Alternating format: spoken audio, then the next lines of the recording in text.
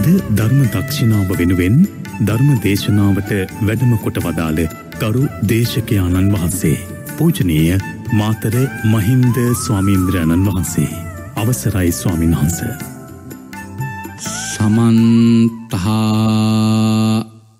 චක්කවාලේසු අත්‍රාගච්ඡන්තු දේවතා සද්ධම්මං මුනිරාජස්ස සුනන්තු සග්ග මොක්කහදං ධම්මස්සවන කාලෝ අයං බදන්තා ධම්මස්සවන කාලෝ අයං බදන්තා ධම්මස්සවන කාලෝ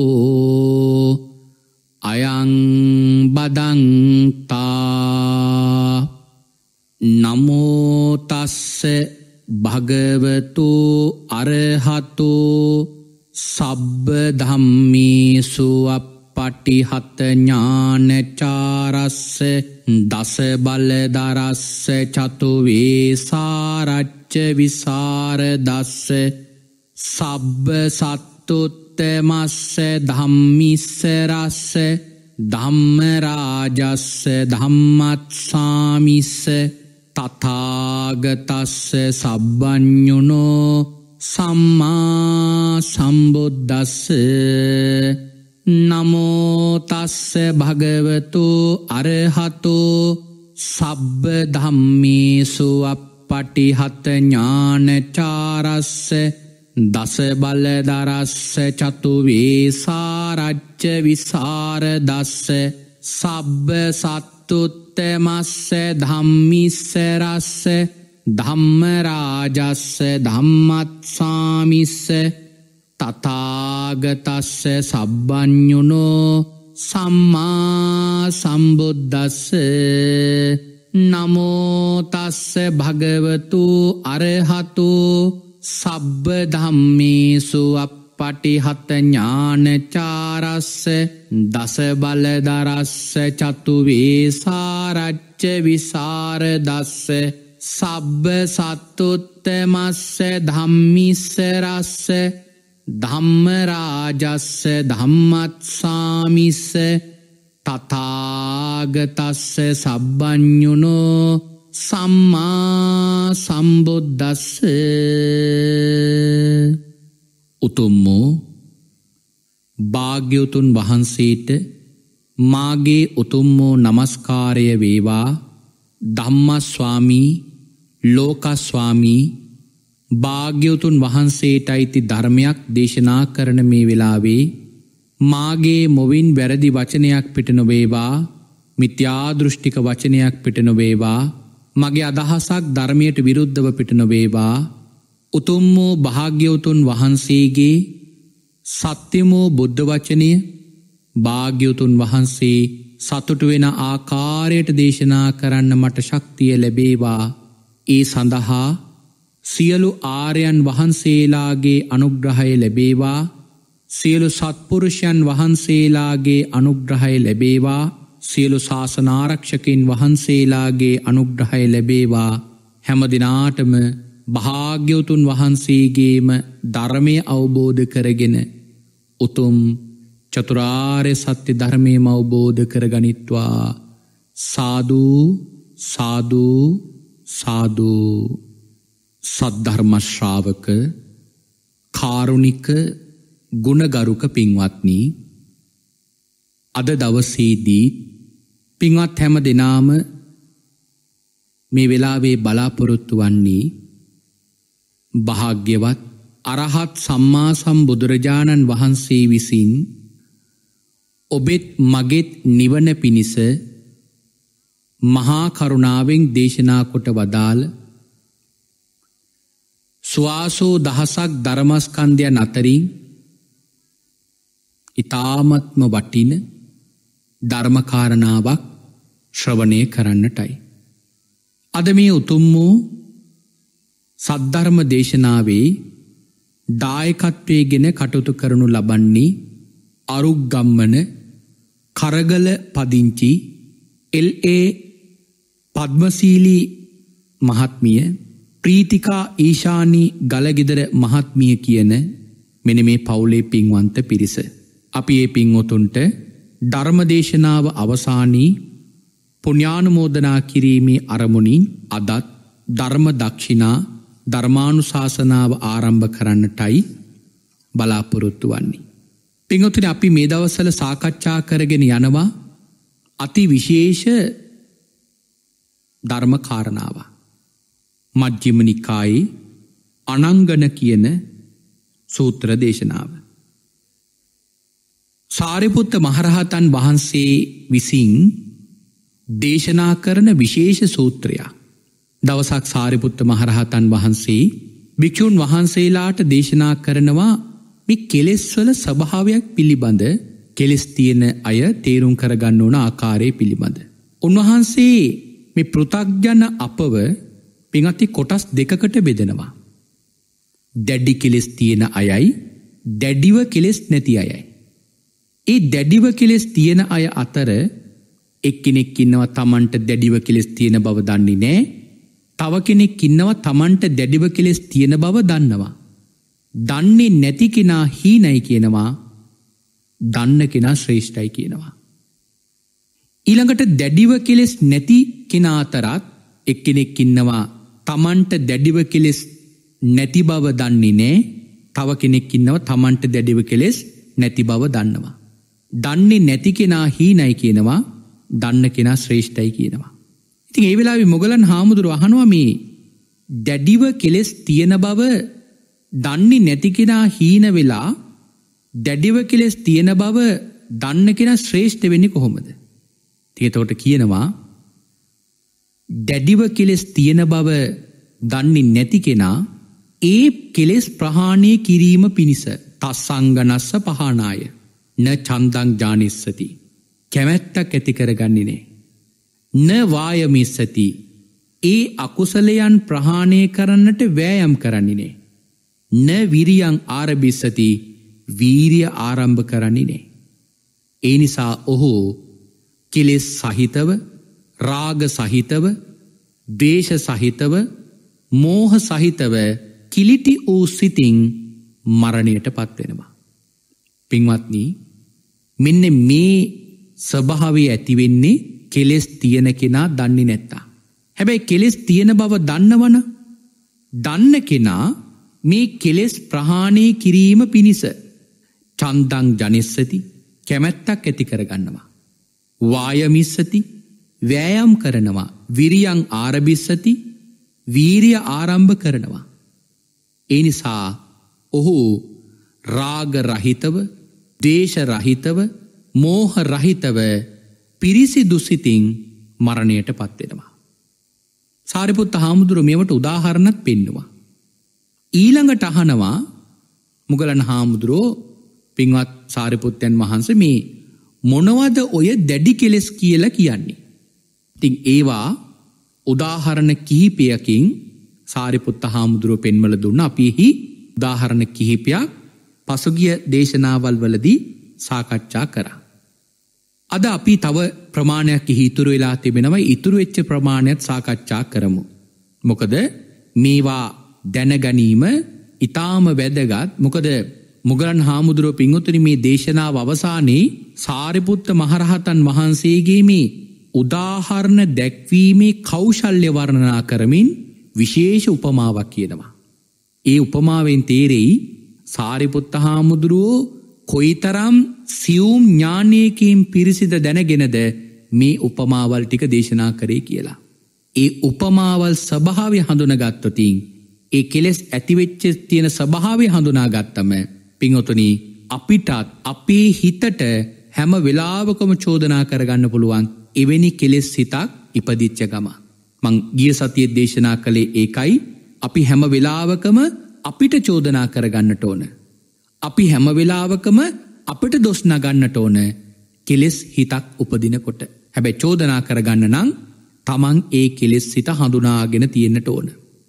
දැ මෙතන කියනවා ඔන්න දැඩිව කෙලෙසේක ස්වභාවයක්. එක්තරා භික්‍ෂූන් වහන්සේ නමක් ඉන්නවා උන්වහන්සේට මෙන්න මේ වගේ සිතුවිල්ලක් ඇති වෙනවා. කොහොමද දානෙකට වැඩම කරාම ඒ දන්දුන්න දායකයින් අනුමෝදනාවක් කරනකොට දන්දුණු දායකයන්ට අනුමෝදනාවක් කරන අවස්ථාවක් ලැබෙනකොට මටම අනුශාසනාව කරන්න ලැබුණොත් හොඳයි. වෙන භික්ෂුවක් කරන්නේ නැතුව මටම මේ දායකයන්ට අනුශාසනාවක් කරන්න ලැබුණොත් හොඳයි. එහෙම සිතුවිල්ලක් ඇති වෙනවා. මේ වගේ ලාමක සිතුවිල්ලක් ඇති වුණාම දානෙට වැඩම කරලා දන්වල දල අවසානදී භික්‍ෂූන් වහන්සේලා වෙනත් භික්‍ෂූන් වහන්සේ නමකට අවස්ථාව දෙනවා ධර්මදේශනාව පවත්වන්න. අනුමෝදනාව පවත්වන්න. එතකොට අර කලින් බලාපොරොත්තුවක් ඇතිකරගෙන භික්ෂුවක් හිටියනේ. ඒ කලින් බලාපොරොත්තුවක් ඇතිකරගෙන හිටපු භික්ෂුවට පිංහතුනි හිතී ඇති වෙනවා දේශය කෝපය. මොකද තමන්ට ඒ බලාපොරොත්තු වෙච්ච දේ තමන්ට නොලැබීන් නොලැබුණු නිසා. තිං ඒ වෙලාවේ ඇතිවෙන අකමැත්ත කෝපය දවේශය සඳහන් කරනවා දැඩික්ලේශයක් හැටියට.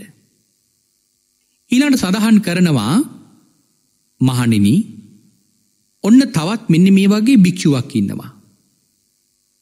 ඒ භික්‍ෂූන් වහන්සට මෙන්න මේ වගේ සිතුවිල්ලක් පහළ වෙනවා. ලාමක කෙලෙස් සිතක් පහළ වෙනවා. ආරාමයට රැස්වෙන භික්‍ෂූන් වහන්සේලා රැස්සුනයින් පස්සෙදී ඒ පිරිසට ධර්මදේශනා කරන අවස්ථාව මටම ලැබුණොත් හොඳයි. ආරාමයට රැස්වන භික්‍ෂූන් වහන්සේලාට ධර්මදේශනාවක් කරන අවස්ථාවක් ලැබුණකොට ඒ අවස්ථාව මටම ලැබුණොත් හොඳයි. මමම මේ පිරිසට ධර්මදේශනාව කරනවා නම් හොඳයි. කියලා මෙන මේ වගේ කෙලෙස් සිතක් උපදිනවා. හැබැයි ආරාමිට රැස්වෙච්ච භික්‍ෂූන් වහන්සේලාට ධර්මදේශනාව කරන්න වෙනත් භික්‍ෂූන් වහන්සේ නමකට අවස්ථාවක් ලැබෙනවා. එතකොට අර බලාපොරොත්තු තියාගෙන හිටපු භික්‍ෂූන් වහන්සේට ඒ අවස්ථාව නැතුව යනවා. ඒ නිසා උන්වහන්සේට ඒ භික්‍ෂූන් වහන්සේලා පිළිබඳ අකමැත්ත අමනාපය උපදිනවා. දේශය කෝපය උපදිනවා. දේශනා කරනවා ඒ දෙකම දැඩික්ලේශයක් හැටියට. ඒ දෙකම දැඩික්ලේශයක් හැටියට හඳුන්නනවා. ඊළඟට සඳහන් කරනවා ආරාමට රැස්වන භික්‍ෂුණීන් වහන්සේලාට උපාසකයන්ට උපාසිකාවන්ට. මෙන්න මේ පිරිසටත් ධර්ම දේශනාව කරනකොට මමම ධර්ම දේශනාව කරනවනං හොදයි. අන්න භික්‍ෂූන් වහන්සේ නමක් ධර්ම දේශනාවක් කරන්න නැතුව මමම ධර්ම දේශනාව කරනවනං හොදයි. හැබැයි මේ හාමුදුරුවන්ට ඒ අවස්ථාවත් නැති වෙනවා. එතකොට මේ භික්‍ෂුවට ඒ පිළිබඳව දේශය කෝපය උපදිනවා. අකමැත්ත අමනාපකම උපදිනවා. ඒ නිසා ඒ තමන්ගේ හිතේ ඇතිවෙන අකමැත් අමනාපකම නොසතුට බව දවේශය තමයි දැඩි කෙලේශය හැටියට මෙතන හඳුන්නන්.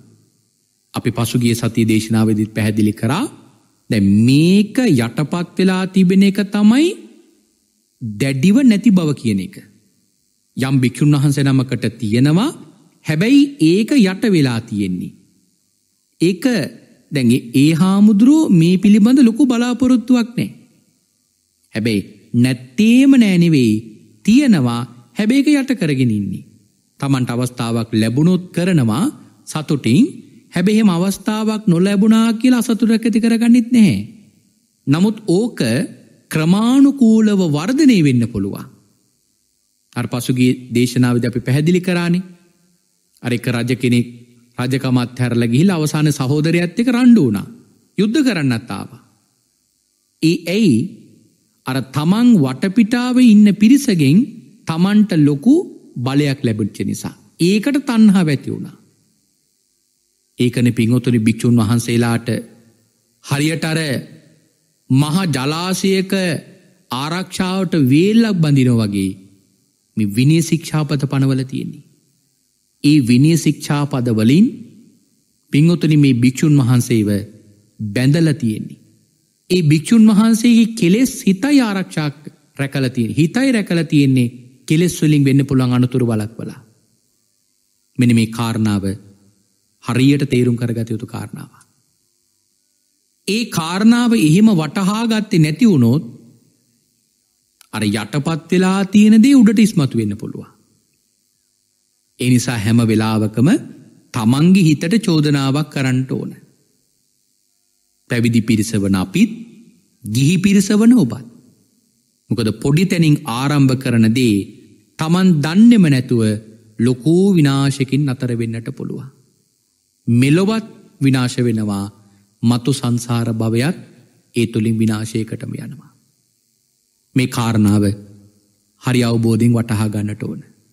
දැ මේ භික්‍ෂූන් වහන්සේට හිතෙන්නේ ආරාමිට වඩින උපාසිකාවන්ට උපාසකයන්ට මමම ධර්මදේශනාව කරනවනං හොඳයි.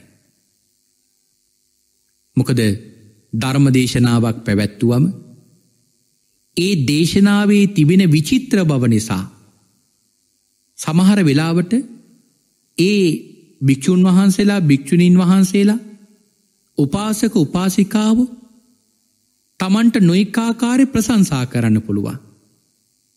ඒ ප්‍රසංසාවට යට වෙලා මේ වගේ ලාමක කෙලෙ ඇතිවෙන්න පුළුවන්.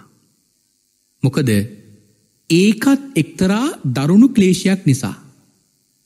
ප්‍රසංසාවට යටවීමත් දරුණු ක්ලේශයක් නිසා. හැබැයි මේ ශාසනී නිකෙලෙස් ආරයන් වහන්සේලා පිංහතුනී උදාර ගුණයන්ගෙන් යුක්තයි. කෙලෙස් ප්‍රහාණය කරපු දවසක ඒ කෙලෙස් ප්‍රහාණය කරපු ආරයන් වහන්සේ හිතන විදිය පිංහතුනි සම්පූර්ණයම වෙනස් නමුත් අපිට ආරයන් වහන්සේ නමක් හිතන විදියට හිතන්න පුළුවන්න යම් දවසක මේ කෙලෙස් සිත ප්‍රහාණය කරද්දී ඒක ලොකු උපකාරයක් වෙනවා. කෙලෙස් සිත ප්‍රහාණය කරද්දී ලොකූ උපකාරයක් වෙනවා. එ මොකක් නිසාද පිංහොතුනි තමන්ගේ හිත අර ආර්යන් වහන්සේලාගේ ගුණාධික බවත් එක්ක යටකරගන්න පුළුවන් නිසා. බලන්න පිංහතුනි මේ ශාසනය ආරයන් වහන්සේලා බණ කියනකොට උන්වහන්සේලා යම් යම් අවස්ථාවන් වලදි හිතන විදි දැන් එක උදාහරණයක් කියනවනං ඔය මහා කච්චායන බද්ධය කරත්ත කෙළ සූත්‍ර ඇත්තින මජ්්‍යමනිකායි. ඒ මහා කච්චායන බද්ධය කරත්ත සූත්‍රයේදී බද්ධය කරත් එක්තරා සමිද්ධි කියලා තෙරුන් වහන්සේ නමක් වැඩ හිටියා. මේ සමිධි තෙරුන් වහන්සේගේ ළඟට ඇවිල එක්තරා දේවතාවයක් ප්‍රශ්නයක් අහනවා. ස්වාමීනය ඔබවහන්සේ බද්ධය කරත්ත භික්‍ෂුවගේ බද්ධය කරත්ත ගාථා දන්නවද කියලා. ඒ වෙලාවේ සමිධි තෙරුන් වහන්සේ කියනව නෑ මම දන්නිනේ. තෙරුන් වහන්සේ දේවතාවියගින් ඔයි කාරණා වහනවා. තිං දේවතාවියත් කියනවා නෑස්වාමිනි මම දන්නෙත් නේ. දේවතාවේ වෙලාව කියනවා ස්වාමීනී මේක බුදුරජාණන් වහන්සේකින් අහලා දැනගන්න තරමට වටිනවා. කියල කිව්වම සමිධි තෙරුන් වහන්සේ බුදුරජාණන් වහන්සේකි මේ කාරණාව වහනවා. ඉති ඒ වෙලාවෙදී බුදුරජාණන් වහන්සේකින් ඕක ගිහිල් ඇහුවම භාග්‍යතුන් වහන්සේ මේ බද්ධය කරත්ත භික්‍ෂුවගේ බද්ධය කරත්ත ගාතා කෙටියෙන් දේශනා කරනවා. ඒ ගාත ටික කෙටියෙන් දේශනා කරන්නේ. තැම කෙටියෙන් අහපු කාරණාවල් ටික මේ භික්‍ෂූන් වහන්සේලාට විස්තරාත්මකව දැනගණ්ඩ ඕන. ඔයි ගාථා තමයි අතීතං නානමා ගමීය නප්පටිකංකේ අනාගතං යදතීතං පහීනංතං අපත්තංච අනාගතං පච්චු පන්නංච යෝදම්මං තත්ත තත්ත විපස්සති අසංහීරං අසංකුප්පං තං විද්වා මනුබෘහයේ අජ්ජේවකිච්චං ආතප්පං කෝජඥා මරණංසුවේ නහිනෝ සංගරංතේන මහාසේනේන මච්චුණා. මෙනි මේව තමයි බද්ධය කරත්ත ගාථා කියල කියන්නේ. හොඳම භික්‍ෂුවගේ ගාථා. තැන් ඊළඟට දැම් මේ භික්‍ෂූන් වහන්සේලා තීරණය කලා අපි කාගෙන්ද මේක අහගන්නේ. ආං ඒ වෙලාවේ උන්වහන්සේලාට මතකේටාවා අපේ ශාසනය විශේෂ මහරහතන් වහන්සේ නමක් වැඩඉන්නවා. ඒ තමයි මහා කච්චායන මහරහතන් වහන්සේ. කච්චායන මහරහතන් වහන්සේ කියල කියන්නේ භාග්‍යවතුන් වහන්සේ කෙටියෙන් කරුණක් කිව්වෝත් ඒක විස්තරාත්මකව දේශනා කරන්න පුළුවන් භික්‍ෂූන් වහන්සේලා අතරින් අග තැන්පත් භික්‍ෂූන් වහන්සේ. ඒ නිසා දැම් මේ භික්‍ෂූන් වහන්සේලා මේටිකරගෙන යනවා කච්චායන හාමුදුරන්ගේ ළඟට. කච්චායන මහරහතන් වහන්සේ කෙන සතර මහා තිරවරී. අග්‍රශාවකෙන් වහන්සේලාට විතරයි පහලින් ඉන්නේ. අනිත් හැම ශ්‍රාවකෙන් වහන්සේලට වඩා යලින් ගුණාධිකයි. තැම්මේ කච්චායන මහරහතන් වහන්සේගෙන් ගිහිල මේ අහනවා. අහනකොට කච්චායන මහරහතන් වහන්සේ යහනවා ආයශ්මතුනි නුඹල මේක බුදු හාමුදුරුවන්ගේ අහල දැනගත්ති නැද්ද. ඒ වෙලාවේ භික්ෂුන් වහන්සේල කියන නෑස්වාමිනි අපි අහල දැනගත්තනේ. ඒ වෙලාවෙ කච්චායන හාමුදුරුවෝ භික්‍ෂූන් වහන්සේල මේ කරපු වැඩේ උපමාවකින් පෙන්වල දෙනවා.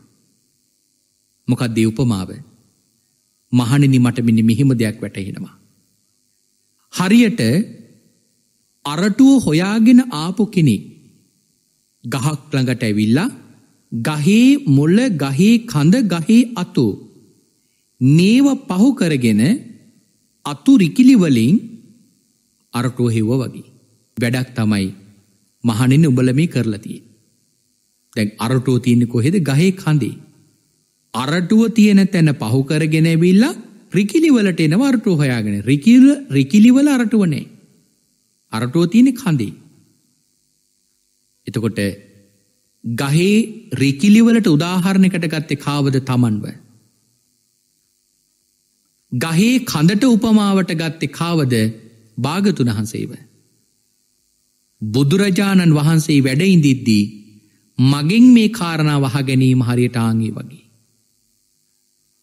පිංහතුනි මම මේ කාරණාව මතක් කරේ අපේ හිතට මේ වගේ ලාමක කෙලෙ සුපදිනකොට මේ වගේ පහත් කෙලෙ සුපදිනකොට මේ ආර්යන් වහන්සේලා කටයුතු කරපු විදිය පිළිබඳ දැනගෙන හිටියොතින් උන්වහන්සේලාගේ ගුණ අධික බව වටහාගෙන මමත් මේ වගේ ගුණාධික කෙනෙක් වෙනවා කෙළ හිතන්න පුළුවන් නං ආන්න එක වටිනවා. එහෙම හිතනකොට පිංඔතුනි තමන්ගේ අර තිබෙන කෙලෙස් හිත බලවත් වෙන්නිනේ. ඒකයි මේ කාරණාවදි තේරුම් කරගන්නට ඕන. දැ මේ භික්‍ෂූන් වහන්සලට හිතෙන්නේ එක්තරා භික්ෂුවකට හිතෙනවා පන්සලට වඩින පිරිසට ධර්මදේශනාව කරන්න මටම ලැබුණුත් හොඳයි. නමුත් ලැබෙන්නේ නෑ වෙනත් භික්‍ෂූන් වහන්සේ නමකට ලැබෙන්නේ. හැබැයි හරියට ධර්මී පිහිටල හිටියනං උන්වහන්සට ඒ වගේ ලාමක කෙලෙස් සිතක් උපදිනිනේ. උන්වහන්සේට පින්වතුනී ඒ තමන්ගේ හිත හඳුනගත්තනං එහෙම උපදින්නේ නෑ. හැබැයි එහෙම අවස්ථාවක් එනකොට අපට පුළුවන්නන් අර ආරයන් වහන්සේලා කටයුතු කරපු විදිිය පිළිබඳ හිතන්න.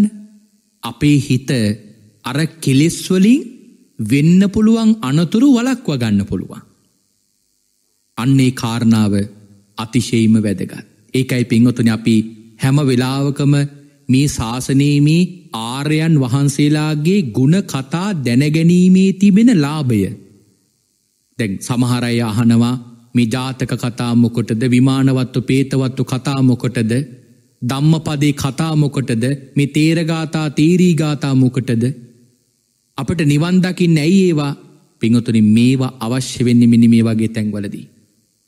තමන්ගේ කෙලෙස් හිත නැතිකරගන්න ආර්යන් වහන්සේලාගේ ගුණ අධික බව තමන්ගේ ජීවිතයට එකතු කරගත්තොත් උන්වහන්සේලා මේ වගේ ලාමක කෙලෙස්වලදි මිනි මිහිමයි කටයුතු කරේ මමත් ඒ ආර්යන් වහන්සේලාගේ ගමන යන මමත් මෙන්න මිහිමයි කටයුතු කරන්න ඕන කියන පණිවිඩිය තමන්ට හිතන්න පුළුවන්. එහෙම හිතනකොට අර තමන්ගේ හිතේ තිබෙන ලාමක ස්වභාවය හඳුනාගෙන ඒ ස්වභාවේ නැති කරගන්න පුළුවන්. දැ බලන්න ඊළඟට කියන කාරණාවත් ඒ වගේ එක. සාරිපුත්ත හාමුදුර තවත් උදාහරණයක් කියනවා. ඔන මහනිනි තවත් භික්‍ෂූන් වහන්සේ නමක්කට මෙන්න මේ වගේ සිතුවිල්ලක් පහළ වෙනවා. මොනවගේ සිතුවිල්ලද්ද.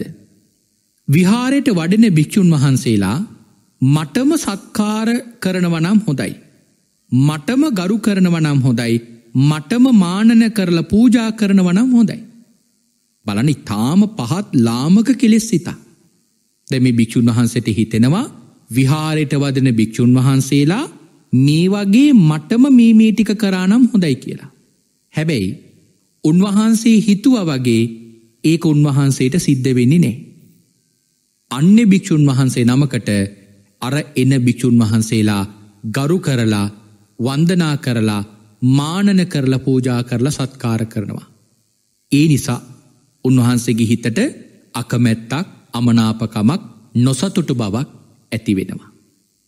මොකද සමහර වෙලාවට යම් භික්‍ෂූන් වහන්සේ ලාවම ආගන්තුක භික්‍ෂූන් වහන්සේලා වැඩියහම නේවාසික භික්‍ෂූන් වහන්සේලා සමහරු බලාපොරොත්තු වෙනවා තමන්ටම ඉස්සරලා වන්දනා කරොත් හොඳයි කියලා.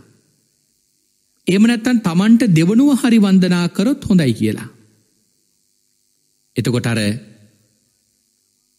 එන භික්‍ෂූන් වහන්සේලා අපි හිතමු විහාර ඉන්නවා මහතෙරුන් වහන්සේලා ගොඩා.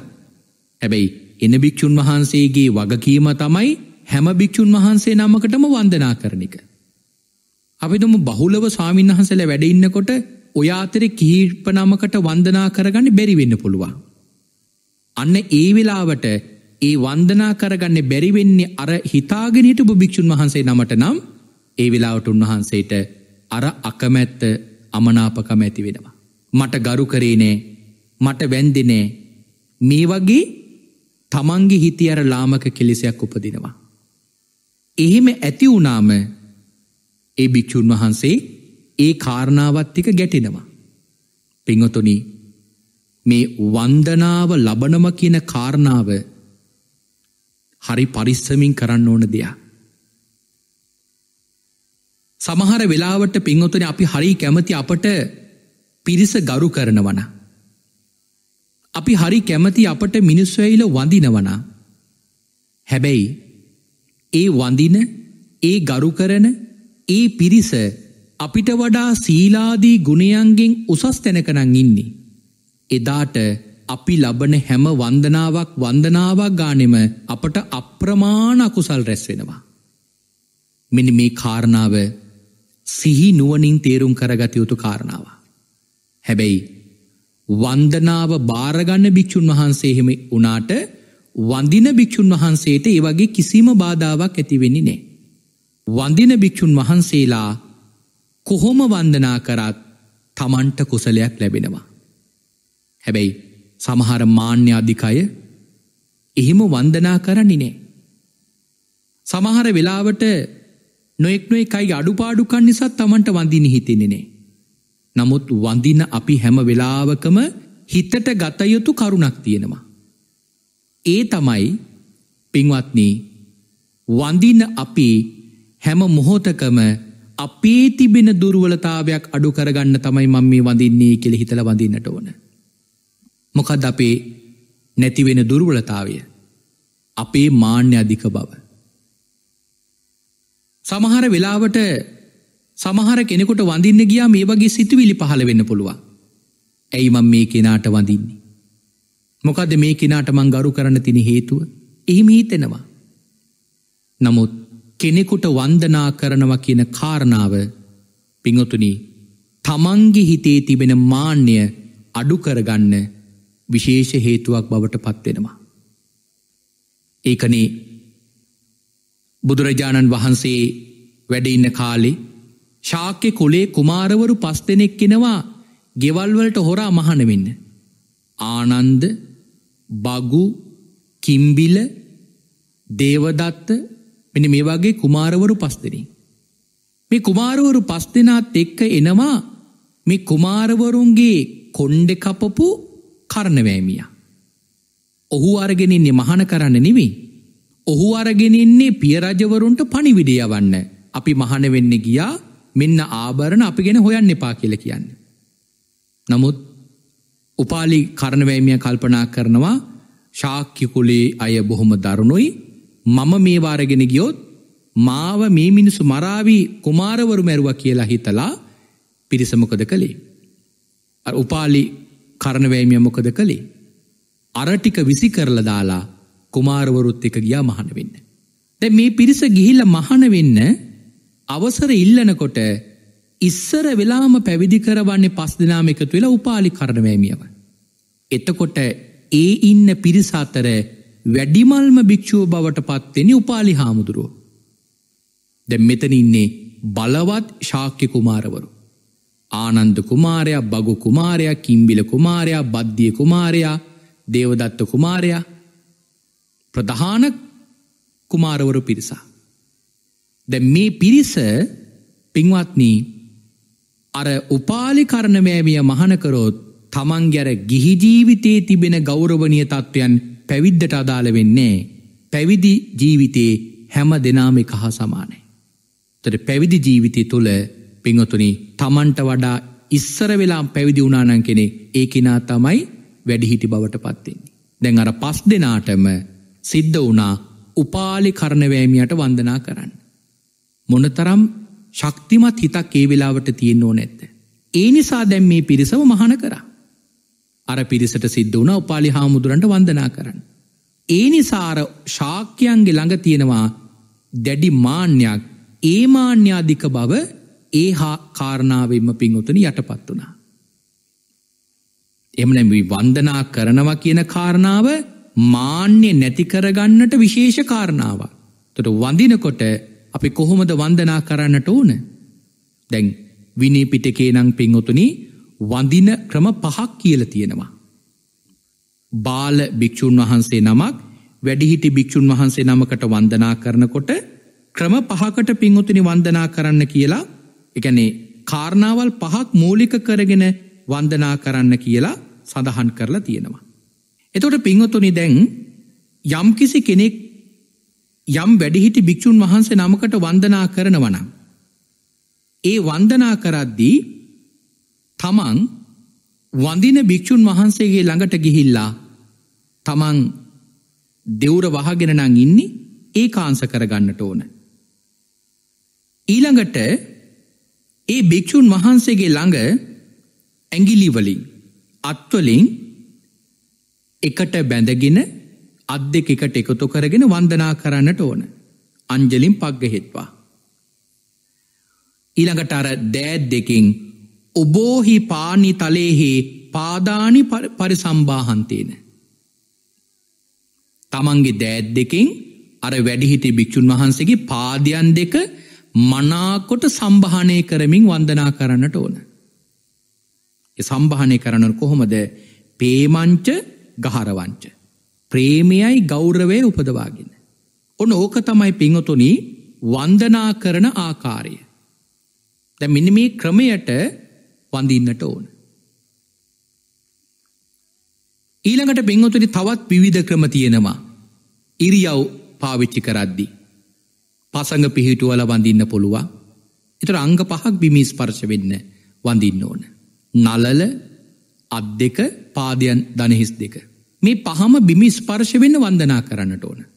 ඊළඟට තවත් ක්‍රමයක් තියෙනවා ඒ තමයි උක්කුටියෙන් වන්දනා කරන්නට ඕන. උක්කුටියෙන් වන්දනා කරනවා කියන්නේ දකුණු දනමඩල බිමට නමාගෙන අත් දෙක එකට එකතු කරලා කරන වන්දනාව. අර පසඟ පිහිටුවල වඳින්න බැරි අවස්ථාවක දිහෙම වන්දනා කරන්න පුළුවන්. ඊළඟට තවත් කරන වන්දනාවත් තමයි දනහිස් දෙකම බිමතියාගෙන කරන වන්දනාව. දනහිස් දෙක පමණක් බිමතියාගෙන අත් දෙක එකට එකතු කරගෙන වන්දනා කරනවා. ඊළඟට කරන වන්දනාවක් තමයි දණ්ඩ නමස්කාරය. දණ්ඩ නමස්කාරය කියන්නේ මුළු ශරීරයම බිම දිගා වෙලා කරන වන්දනාව. ආන්නේ ක්‍රමයටත් වන්දනා කරන්නට පුළුවන්. මෙන්න මේ ආකාරයට පින්ඔතුනි වන්දනා කරාම අර අපේ තියෙන මාන්‍ය අධික බව අඩුවෙනවා. හැබැයි සැලකිලිමත් වෙන්නට ඕන වන්දනා කරන කෙනා නෙවෙයි වන්දනා ලබන කෙනා. මම මේ වන්දනාව ලබන්නට තරම් මගේළඟ උසස් ගුණ ධර්ම තියෙනවද. මේ වඳින කෙනාට වඩා උසස් සීලයක් මගේළඟ තියෙනවද. එහෙම නැතිවුණොත් පිංහතුනේ තමන්ට ලොකූ අනර්ථයක් තම ඒකින් වෙන්නේ. එනිසා සිහිය හැම වෙලාවකම තබාගෙන කටයුතු කරන්නට ඕන. දැන් මි භික්‍ෂූන් වහන්සේට හිතෙන්නේ තමන්ට ඇවිල්ලා මේ පිරිස වන්දනා කරනවනං ගරු කරනවනං මානන පූජන කරනවනං හොඳයි කියලා. නමුත් එහෙම වෙන්නේ නෑ ඒ නිසා මේ හාමුදුරුවන්ට කෝපය දවේශය උපදිනවා. ඊළඟට පිංහතුනි විහාරයට එන උපාසක උපාසිකාවන්. තමන්ට මිස්සර වෙල ඇවිල්ල ගරු කරනවනං හොඳයි. තමන්ටම පළමුකොට ඇවිල්ල වන්දනාමාන කරනවනං හොඳයි කියලා හිතාගෙනන්නවා. නමුත් ඒදේ එහෙම සිද්ධ වෙන්නේ නෑ. වෙනත් පිරිසකට තමයි උපාසක උපාසිකාව ගිහිල්ලා වන්දනා කරන්නේ සමහර වෙලාවට පිරිස වැඩි වෙනකොට තමන්ට වන්දනා නොකරන්න පුළුවන්. ඒ හේතුවෙන් අකමැත්ත අමනාපකමත් තමන්ගේ හිතට උපදිනවා. මේකත් පිංඔතන පෘතක්ජනයකුගේ ළඟතියෙන විශේෂ තන්හාාව. එකිනෙකා තමන්ට ගරු කරයි කියන තන්හාාව. එකිනෙකා තමන්ට සත්කාර සම්මාන කරයි කියන තන්හාාව. පිංහතුනි මේ ශාසනයේ බුදුරජාණන් වහන්සේ දේශනා කරලා තියෙන්නේ යම්කිසි භික්‍ෂූන් වහන්සේ නමකට සිව්පස ලාබයෙන් සංග්‍රහව ලබන්නට ඕන නම්. යම්කිසි භික්‍ෂූන් වහන්සේ නමකට ගෞරවය ලබන්නට ඕන නම් ඒ හැම දේකටම කරන්න තියෙන්නේ එකම දෙයයි හොඳට සිල්වත් වෙන එක. එක පැවිදි පිරිසට විතරක් නෙවෙයි ගිහි පිරිසවන ඔබටත් අදාලයි. තමන්ගේ සීලය දියුණු කරගන්න දියුණු කරගන්න පිංහතුනි තමන්ට ඒ ලැබෙන්න වරප්‍රසාද පහසුවෙන් ලබන්නට පුළුවන්කමක් ලැබෙනවා. හැබැයි වංචනික අදහස් නැතුව. අවංක අදහසකින් සිල් රකිනවනං තමන්ටේ සියලු අඩුපාඩු කණ්ටික සම්පූර්ණ වෙනවා. දැන් මේ ශාසනයේ සැබෑ එවැනි සීලවන්තාරයන් වහන්සේලා නම් තමන්ට යමික් ගරු කරත් ඒ ගරු කරන කෙනාට වන්දනා කරන කෙනාට අනුකම්පාවක් පිණිස මයි ඒ වන්දනාව භාරගන්නේ. එක තම අනිත් කාරණාව.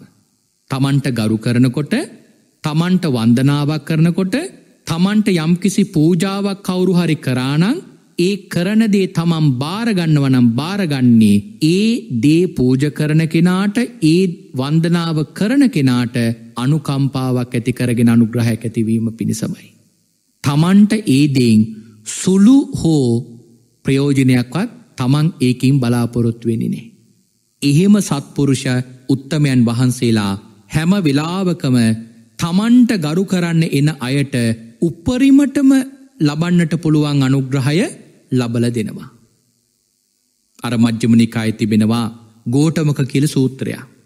මේ ගෝටමුක කියන බමුණේ උදේන මහරහතන් වහන්සේ නමත් එක්ක උදේන මහරහතන් වහන්සේත් එක්ක වාදයක් කරනවා. ඒ වාදිං පිංහතුනි ගෝටමොක බමුණ පරාද වෙනවා. ඒ වෙලාවේදී ගෝටමොක බමුණා උදේන මහරහතන් වහන්සේ පිළිබඳ අප්‍රමාණ පැහැදීමක් ඇති කරගන්නවා. එහෙම පැහැදිලා පිංහතුනි උදේන මහරහතන් වහන්සේ උදෙසා ගෝටමොක බමුණා ප්‍රීති වාක්‍යයක් කියලා පූජාවක් කරනවා. ගාථාවකින් පූජාවක් කරනවා. ඒ පූජාව තමයි අභික්කන්තේ අභික්කන්තේ බෝ උදේන අභික්කන්තේ බෝ උදේන සෙයතාපි බෝ උදේන නික්කුජ්ජිතංවා උක්කුජ්ජෙය පටිච්චන්නංවා විවරේය මූලහස්සවා මක්ගං ආචික්කෙය අන්දකාරේවා තේලපජ්ජොත්තන් ධාරෙය චක්කුමන්තෝරූපානි දස්සින්තිී කියලා උන්නහොම පූජාවක් කරනවා. මේ පූජාව කරල ඉවර වෙලා කියන්නේ ස්වාමීණි අද පටන් මම ඔබවහන්සේගේ සරණ යන ශ්‍රාවකයෙක් බවට පත්වෙනවා කියලා. ආන්න ඒ වෙලාවේ පින්වත්න්නේ උදේන මහරහතන් වහන්සේ හරි අපූරු කතාවක් ගෝටමුක බමුණට කියනවා. දැන් ගෝටමුක බමුණ කිව්වේ උදේන මහරහතන් වහන්සේගේ සරණ යනව කියලා. බලන පිංහොතිනි පෘතක්ජනයකුට ඔයි වගේ කරුණක් කිව්ව කොයි තරම් මාන්‍යයක් තමන්ගේ හිතේ උපදව ගනීද. දැම් මට තව අනුගාමිකයෙක් ඉන්නවා. මට ගරු කරන කෙනෙක් ඉන්නවා. එහෙම ඒ පුද්ගලයාව අල්ල ගන්නවා. ඒ පුද්ගලයාව අල්ලා ගැනීම තුළ තමන්ට වෙන්නේ ලොකු අනතුරා. තමන්ට වෙනි ලොකු අනර්ථයක්. මොකද එහෙම ඉන්න පුද්ගලයා තව තැනකට ගරු කරනවා දැක්කොතින් තමන්ටර අකමැත් අමනාපකම ඇති වෙනවා. මොකද තමන් ඒ පුද්ගලයාව අල්ලගත්තු නිසා. නමුත් බලන මේ ආරයන් වහන්සේ කටයුතු කරපු විදිය මෙ මේ අයට තමයි සැබෑක් සත්පුරුෂ කල්්‍යාන මිත්‍රයෝ කියන්නේ මේ ශාසනයේ සැබෑ ශ්‍රාවකයාගේ වගකීම කියල කියන්නේ. තමන් වටා ඉන්න තමන් සරණගියපු පිරිසක් ගොඩනගන්න නෙවෙයි මේ ශ්‍රාවකයන් නිතරම කටයුතු කරන්නේ මේ ශ්‍රාවකයන් නිතරම කටයුතු කරන්නේ භාග්‍යවතුන් වහන්සේගේ සරණයන ශ්‍රාවක පිරිසක් ගොඩනගන්නයි. ඒ භාග්‍යවතුන් වහන්සේම වදාළ ධර්මය අවබෝධ කරගන ශ්‍රාවක පිරිසක් ගොඩනගන්නයි හැම වෙලාවකම මේ ශාසනයේ නිවැරදි ශ්‍රාවකයාවෑයම් කරන්නේ. උදේන මහරහතන් වහන්සේ කියනවා ගෝටමොක බමුණට බමුණ නුඹ මම සරණ ආව කියලා නුඹට කිසිම දෙයක් ලැබෙන්නේ නෑ. බමුණ මම යම් සරණක ගියානං නුබත් අන්න ඒ සරණ යන්න. බමුණ මමගේ බුදුරජාණන් වහන්සේගේ සරණ ඔබත් ඒ සරණ යන්න. බලන්න පිංහතුනි මේ ශාසනයේ සැබෑ ආරය ශ්‍රාවකයාගේ වගකීම. මං එක කලිනුත් මතක් කරේ මේ ආර්ය සඟ ගුණ අපි ඉගෙනගන්න ඉගෙනගන්න තරමට පිංහතුන අපේ කෙලෙස්සිත යටපත් කරගන්න ලොකු උදව්වක් ගන්න පුළුවන් ලොකු උපකාරයක් ගන්න පුළුවන් උන්වහන්සේල හිතපු විදිිය උන්වහන්සලා කටයුතු කරපු විදිිය මේ වගේ අවස්ථාවක්කාවත් උන්වහන්සේලා කොහොම දේකට ප්‍රතිචාරයක් දක්වල තියෙන්නේ ඒවා හඳුනගත්තෝත් පිංහොතින අපට ඒවා අනුගමනය කරලා අර අපේ හිතේ ස්වභාවය වෙනස් කරගන්න පුළුවන්. තට අපට මාර්ගඵල ලබන දවසට එක ලොකු උපකාරයක් වෙනවා. දැන් බලන්න මේ මේ වගේ කෙලෙස් හිතක් උපදින කෙනෙකුටත් මේ කාරණාවිතාම වැදගත්. මටම ගරු කරනවනං හොටයි හොඳයි මටම වඳිනවනං හොඳයි මටම පූජා පවත්වනවනං හොඳයි. හැබැයි ඒදේ එහෙම සිද්ධෝනේ නැතිවුණාම තමන්ට ඒ පිළිබඳ අකමැත්ත අමනාපකම උපදිනවා. මිනි මේ කාරණාව අපි හරියට තේරුම් කරගතයුතු කාරණාව. ඊළඟට සාරිපුත්ත මහරහතන් වහන්සේ තවත් උදාහරණයක් දක්වනවා. ආයුෂ්මතුනි මෙන්න මේ වගේ භික්ෂුවක් ඉන්නවා. ඒ භික්ෂුවට මෙන්න මේ වගේ ලාමක කෙලෙ සිතක් පහළ වෙනවා. පිරිකර පූජා කරනකොට ඒ පූජාවේ හොඳම පරිස්කාරය මටම ලැබුණොත් හොඳයි. ඒ පූජාවේ හොඳම පරිස්කාරය මටම ලැබුණොත් හොඳයි. හොඳම චීවරය මටම ලැබුණොත් හොඳයි. කියල මෙන්න මෙහෙම සිතුවිල්ලක් පහළ වෙනවා. හැබැයි එහෙම හිතුවට මේ භික්‍ෂූන් වහන්සේට එක ලැබෙනි නෑ. හිතපු චීවරය ලැබුණි නෑ වෙනත් චීවරයක් ලැබුණා. එතකොට පිංහතුනි තමන්ට ඒ පිළිබඳ අකමැත්තක් කමනාපකමක් උපදිනවා. අන්න ඒක දැඩි ක්ලේශයක්. චීවර පිළිබඳව වෙන්නත් පුළුවන්. පින්ඩපාතේ පිළිබඳව වෙන්නත් පුළුවන්. සේනාසන වෙන්නත් පුළුවන් බෙහෙත් වෙන්නත් පුළුවන්. මේ ඕනම කාරණාවක් පින්ඔතුනී මේ ආකාරය කාරණාවක් වෙන්න පුළුවන්. හොඳමදේ තමන්ට ලැබෙනවානං හොඳයි කියලා තමන්ගේ හිතේ පින්ඔතුනි කෙලෙස් සිතක් උපදිනවා. ඒක සාමාන්‍යෙන් පින්ඔතුනි කුඩා කාලයේ ඉඳලා ඕනෑම කෙනෙකුට හිතන දෙයක්.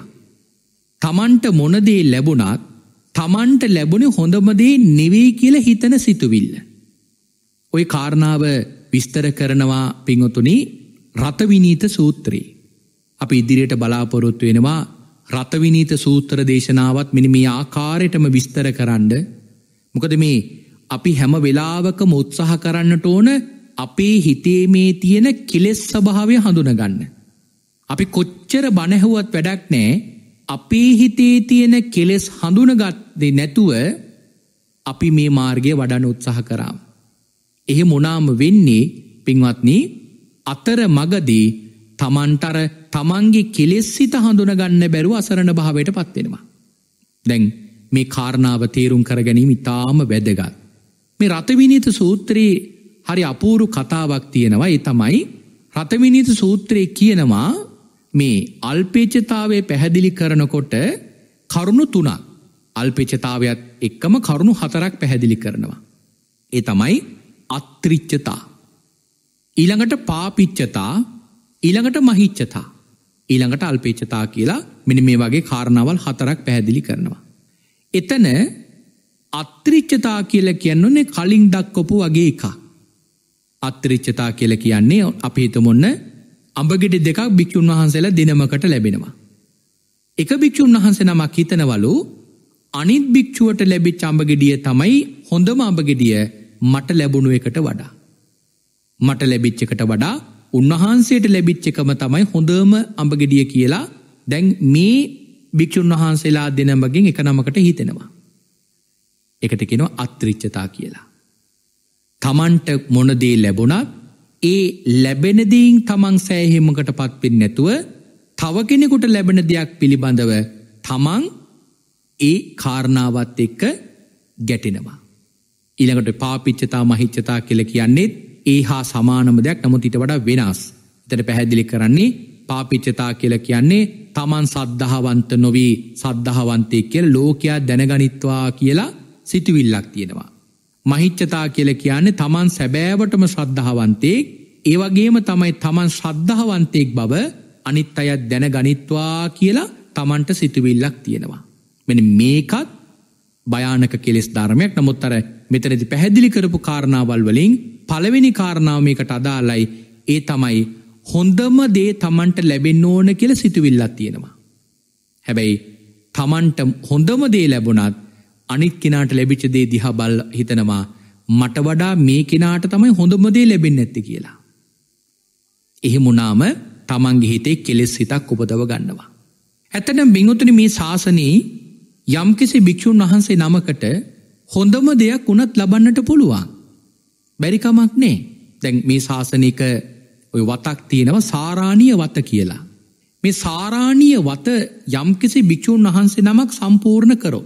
සාරාණීය වත පුරණකොට ධර්මතා හයක් තියෙනවා ගැන සාරාණීය වත කියල කියන්නේ ඔන්න භික්‍ෂූන් වහන්සේ නමක් පිණ්ඩපාතය වඩිනවා.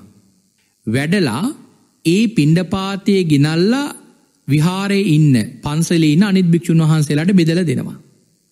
එහෙම බෙදල දෙනකොට උන්වහන්සේ මෛත්‍රී සහගත සිතින් ඔය හැම දෙයක්ම කරන්නට ඕන. මේ වගේ කරුණු හයක් සාරාණීයවත සම්බන්ධයෙන් කියල තියෙනවා තොර එතනදි පින්වතුනි තැ මේ භික්‍ෂූන් වහන්සේ පිණ්ඩපාතය වැඩල එහෙම ගෙනත් දීලා අපේතුම ඔන්න ගෙනාපු පිණ්ඩපාතේ පස් නමකට විතරය ප්‍රමාණවත් වනේ තව පස් නමක් වැඩඉන්නවා.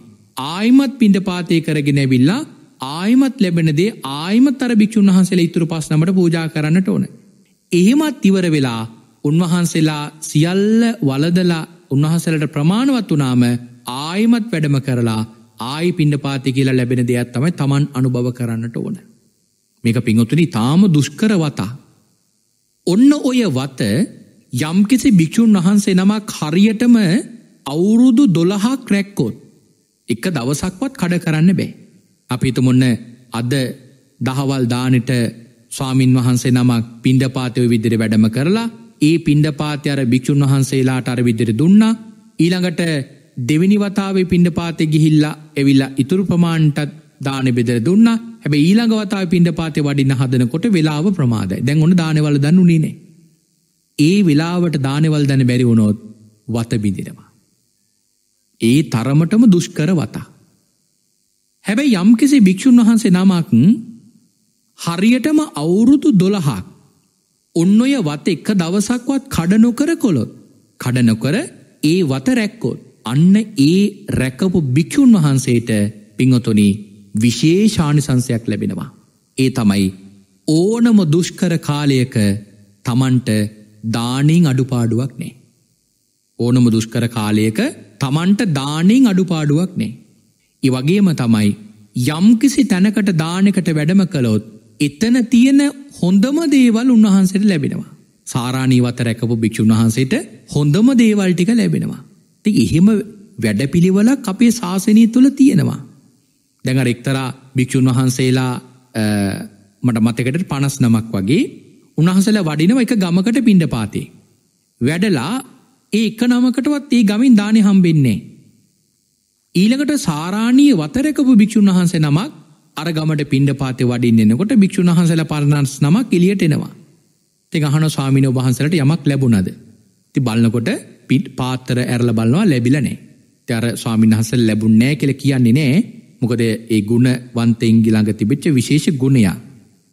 ලැබුණි නෑ කියල කිව්වෙනේ ති උන්වහන්සේලා නිහඬ වනාම අපි පින්න පාති වැඩිය කියල විතරයි කිව්වේ පාත්තරඇල්ල බලකොට කිසිවක් ලැබිලනේ.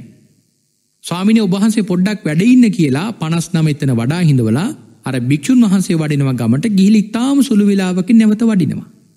වැඩලා ඔළු පාත්‍රයේ පිරින්නම වටින ආහාරයක් පිඩ පාතය කරගෙනෙනවා. ඒ සියලු මාහාර අර භික්‍ෂුන් වහන්සේල පනස් නමටම පූජා කරා උන්වහන්සලගේ පාත්තර පිරෙන ප්‍රමාණයට. ඒ වගේ ආනිසංසයක් ලැබුණේ මේ සාරාණය වත පුරුපු නිසා.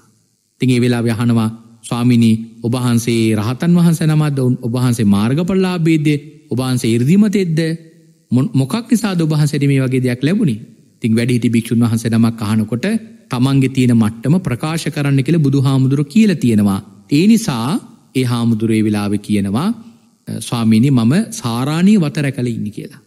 ති සාරාණී වතේ ලැබි චානිසංසය. දවසක් ඒ වගේම භික්‍ෂුන් වහන්සේ නමක් රටේ රජතුමා දානයක් දෙනකොට ඒ දානට වැඩම කරනවා.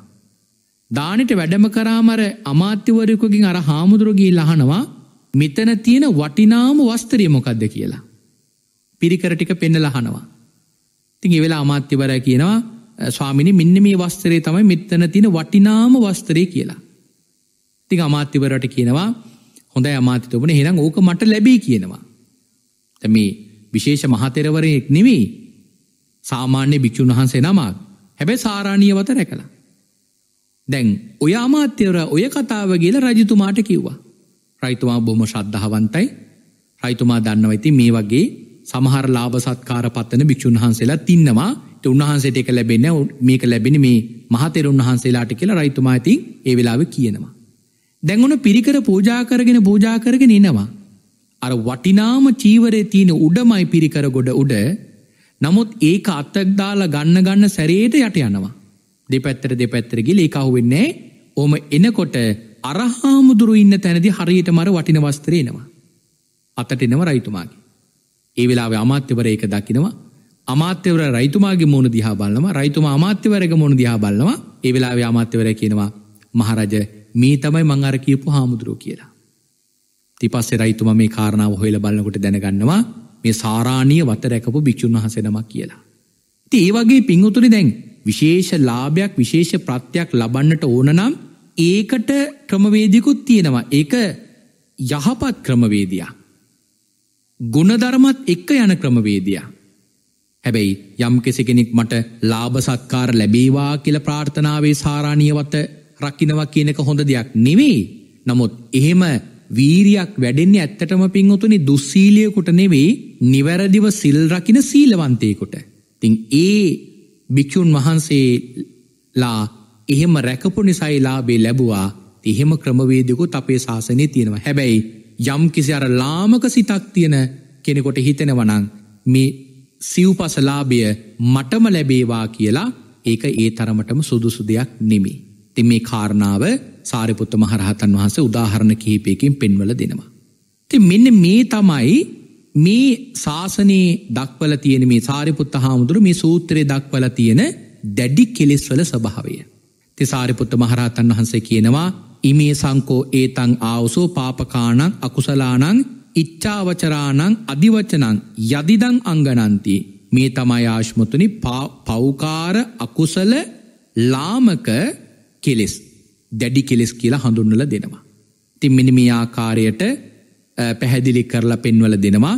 තිංලකට තව වටින විශේෂ උදාහරණයක් දක්වල තිනව මේ ස්ථානීම අද කාලවෙලාව නිමාවට පත්වෙලා තිබෙන නිසා අපි ඒ කාරණාව ලබන සති දේශනාව තුළ සාකච්ඡා කරගම එකත් ඉතාම වැදගත් උදාහරණයක් උපමාවක් නිසා.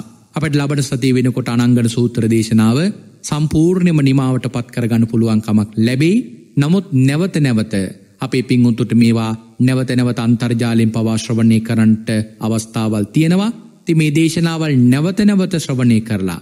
පින්වත් ඔබ තමන්ගේ මේ හිතේ තිබෙන මේ ලාමක කෙලෙස් හඳුනාගෙන ඒ කෙලෙස් සිත පුළුවන්තන යටපත් කරගන්නට වෑයම් කරන්න. මොකද මනුෂ්‍ය භවයක් ලබපු කාලයක බුද්ධෝත්පාද කාලයක ලබන මනුෂ්‍ය භවයෙන් තමයි පිංහතුනි මේක හරියටම වටහා ගන්න පුළුවන්කමක් ලැබෙන්නේ. තේ කාරණාව නිවැරදිව අවබෝධ කරගෙන ඔබට මේ කෙලෙසිත ප්‍රහාණය කරන්න වීරය වඩන්න ශක්තිය දහිරිය ලැබේවා කිලපි මේ වෙලාවේ සාධූ කියා ප්‍රාර්ථනා කරමින් දේශනාව නිමාවට පත් කරනවා. එමනං අද දවසමේ උතුම් සද්ධර්ම දේශනාව මුළු මහත් ලෝකයා කෙරීම මහත් අනුකම්පාවෙන් දේශනා කරවන්නට ධර්මදේශනාවේ දායකත්වය ගෙන කටුතු කරන පින්වත් පිරිසට පුුණ්‍යානුමෝදනා කරනවා.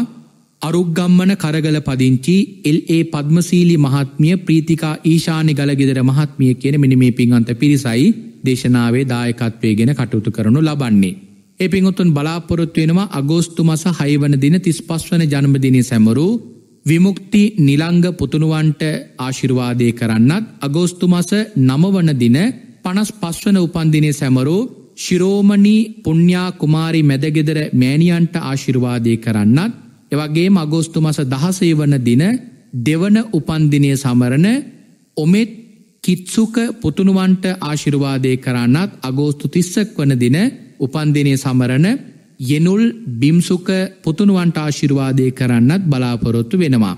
තේමනගේ උපන්දිනය සමරණේ දරුවන් හැමදිනාටමත් ඒ පින්වත් හැමදිනාටමත් නිදුක් නිරෝගී සුවපත් භාවේ සැලසේවා කායික මානසික සුවපත් භාවේ සැලසේවා ඔවුන්ගේ සියලු යහපත් බලාපොරොත්තු පැතුමන් සියල්ලක්ම ස්වර ප්‍රකාරයම සාර්ථකමත් වේවා කෙලපි මේ වෙලාවේ සාදෝ කියා සෙත් ප්‍රාර්ථනා කල්ලා ආශිර්වාදය කරනවා. එවගේම සිලූනි සිහන්සා ඉනුකි උපේජා වේදිත්‍යයක් දනුද්දර කියන මිනිමේ දූ පුතුන්ටත් ආශිර්වාදය කරනවා වගේම දැනට අසනීපතත්වයෙන් පසුවන උපාලි ගලගෙදර පියාණන්ටත් වගේම වයි සසූ තුනක් වන යසෝමැනිකේ දසනායක කිරියම්මාටත් ආශිර්වාදය කරන්නට බලාපොරොත්තු වෙනවා. තිං හැම දෙනාටම මි පින් බලයෙන් නිදුක් නිරෝගී සුවපත් භාවේ සැලසේවා කායික මානසක සුවපත් භාවය සැලසේවා කිලපි මේ වෙලාවේ සාදෝ කියා සෙත් ප්‍රාර්ථනා කරනවා. එවගේම රැස්කරගත් උදාර කුසලානි සංස ධර්මයන්ගේ බලයෙන් ඇල්පින් සිං්ඥෝපියානන්ටත් ඇලිස් නෝනා මෑනියන්ටත් පොඩිමැනිකේ නැන්දනියටත් හේමචන්ද්‍ර මස්සිනාටත් පින් අනුමෝදන් කරනවා තිමියගේ හැම දෙනාටම මේ පින් බලයෙන් පරලෝකීය වශයෙන් සෝපත්වේවා ප්‍රාර්ථනා කරන බෝද්ධයකින් උතුම් චතුරාර් සත්‍ය ධර්මය අවබෝධ වේවායි සාදෝ කියා පින් අනුමෝදන් කරනවා. එවගේම ධර්මදේශනා කරන ගරු දේශකයාණන් වහන්සේටත් නිදුක් නිරෝගී සුවපත් භාවය ප්‍රාර්ථනා කරලා තිබෙනවා තියසියලු බලාපොරොත්තු පැතුබන් සියල්ලක්ම සොර ප්‍රකාරයම සාර්ථකමත් වේවා කියලා අපි මේ වෙලාවේ පුුණ්‍යානමෝදනා කරලා ආශිර්වාදය කරනවා. එමනන් රැස්කරගත්තු සියලු කුසල ධර්මියෝ නෙත්නාලිකාවේ සභාපතිතුමන්ටත් සාමාන්‍යධිකාරතුමන්ටත් කාර්යමන්ලේ පින්වත් හැම දෙනාටමත් මේ වෙලාවේ පින් අනුමෝදන් කරලා ආශිර්වාදය කරනවා ඔවුන්ගේ වටින ගුවන් කාලය මුළුමහත් ලෝක සත්වයා කිරීම මහත් අනුකම්පාවෙන් ධර්මදානයක් හැටියටයි වෙන් කරලා තිබෙන්නේ තෙවන් සත්කාර ශාසනික කටයුත්තක් කරනේ පින්වත් හැමදිනාටම නිදුක් නිරෝගේ සුවපත් භාවේ සැලසේවා කියලාපි පින් අනුමෝදන් කළ ආශිර්වාදය කරනවා. ති මෙවැනි ගහම්බීර ධර්මයන් අපට උගන්වල දහම්මග කියල දෙන ගුරුදේවයානන්ටත් මේ සියලු කුසල් බලෙන් නිදුක් නිරෝගී සුවපත් භාවේ සැලසේවා එවගේම මියගියමාගේ මෑණියන්ටත් මියගියමාගේ පියානන්ටත් මා පැවිදිකරපු ගුරුදේවොත්තමැන් වහන්සේටත් මේ සියලු පින් අනුමෝදන් වේවා එයගේ සංසාරික ජීවිතය සුවපත් වේවා කෙළ මේ වෙලාවේ පින් අනුමෝදන් කරනවා. එවගේම මට නිරන්තරේම සිව්පසදානෙම අප උපකාර කරන පින්ත් හැමදිනාටමත් නිදුක් නිරෝගී සුවපත් භාවේ සැලසේවා දිගාසිර සම්පත් සැලසේවා කායික මානසික සුවපත් භාවේ සියලු රෝගාබාධයන් නැතිවේවා කියලා මේ වෙලාවේ සෙත් ප්‍රාර්ථනා කල්ලා ආශිර්වාදය කරනවා. අවසාන්නේ ඔබ අප හැම දෙනාටමත් කෙටිම කාලයකින් පහසුම ආකාරයෙන් සුක සහගත ප්‍රතිපදාවෙන් සියලු දුකින් මිදෙම්වා මේ සියලු කෙලෙස් බරෙන් නිදහස්වෙම්වා අජර වූ අමර වූ නිවන ලැබ සැනසෙන්න්නට මේ කුසල්ලුතුම් පාරමිතාවක්ම වේවායි සාධූ සාධූ සාධූ කියාපේ ප්‍රාර්ථනා කරගමු. ආකාසට්ටහාච බුම්මට්ටා දේවානාගා මහිද්දිකා පුඤ්ඥන්තන් අනුමෝදිත්වා චිරන්රක්කන්තු සම්මා සම්බුද්ධ ශාසනං ආකාසට්ටහාචබුම්මට්ටා දේවානාගා මහිද්දිකා පුඤ්ඥන්තන් අනුමෝදිත්වා චිරන්රක්කන්තු සම්මා සම්බුද්ධ දේශනං ආකාසට්ටහාචබුම්මට්ටා දේවානාගා මහිද්දිකා පුඤ්ඥන්තන් අනුමෝදිත්වා චිරන්රක්කංතු සම්මා සම්බුද්ධ සාවකං